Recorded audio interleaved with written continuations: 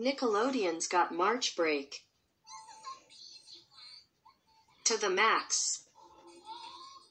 Maximum explosions. Maximum out of this worldness. And maximum brand new episodes of your favorite Nick shows that'll make your March break memorable.